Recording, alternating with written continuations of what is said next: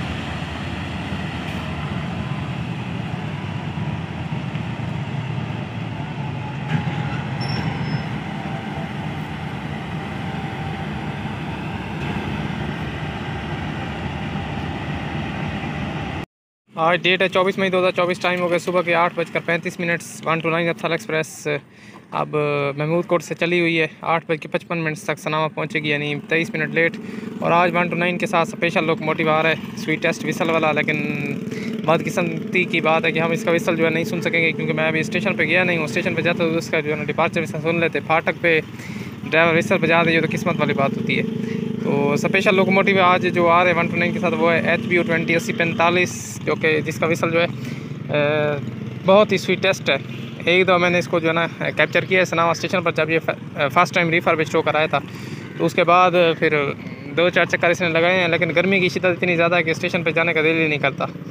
अब इस टाइम सुबह सुबह आठ बज के पैंतीस मिनट पर तिरतालीस डिग्री टेम्परेचर है।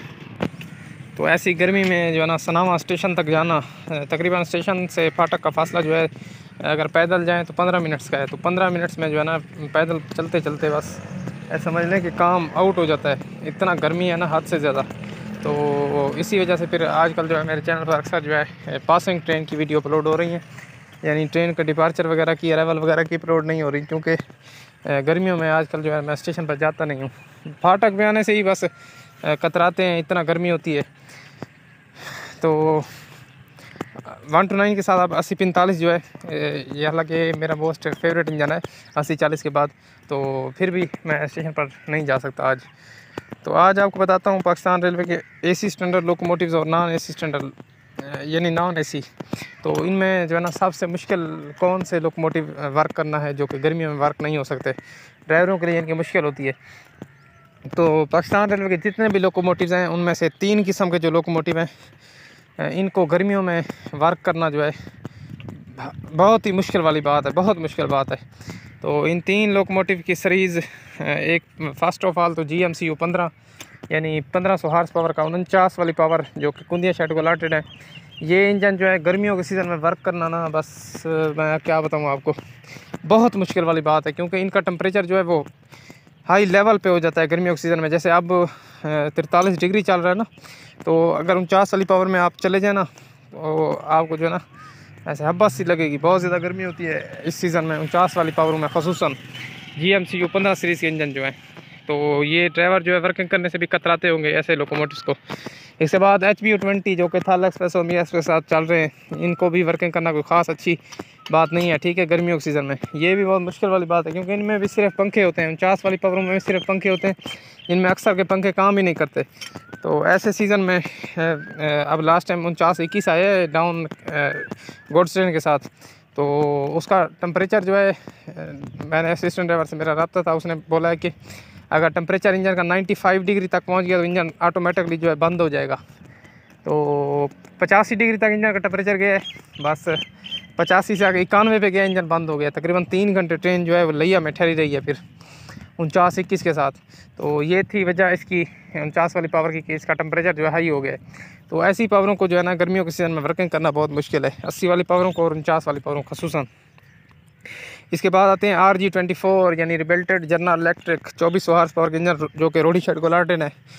ये बावन वाली पावरें भी गर्मियों के सीज़न में वर्क करना कोई आसान बात नहीं है। ये भी बहुत ज़्यादा यानी कि इनमें हीट होती है।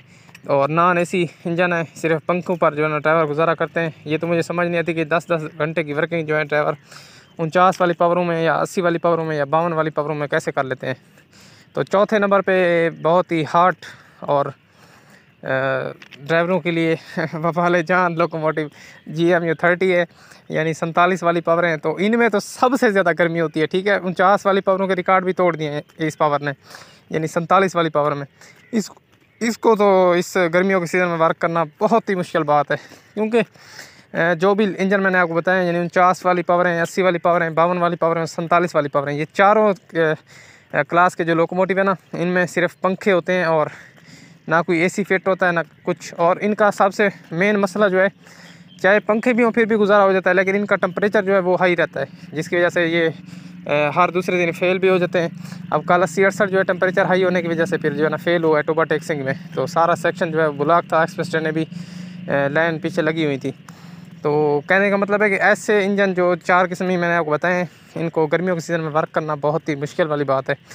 यानी बस मैं उन ड्राइवरों को जो है ना सलामी पेश करता हूँ कि जो जी एम सी यू पंद्रह के लोकोमोटिव जो है इस सीज़न में वर्क करते हैं।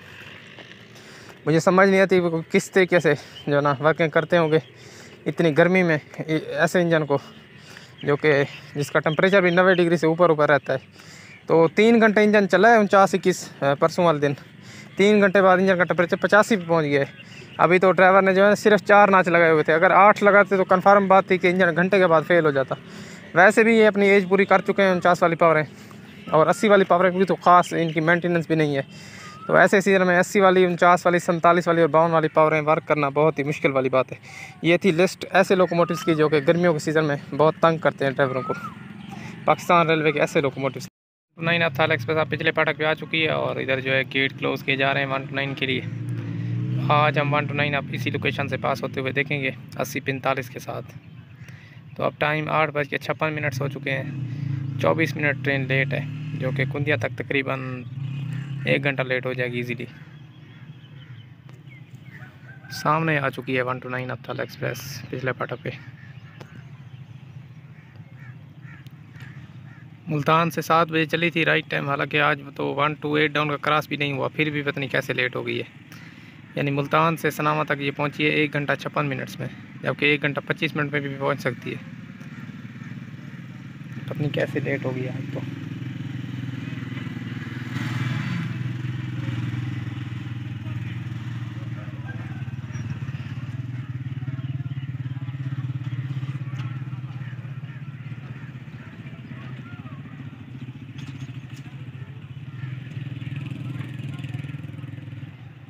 ट्रैकर के मुताबिक इस टाइम ट्रेन की स्पीड है सिक्सटी टू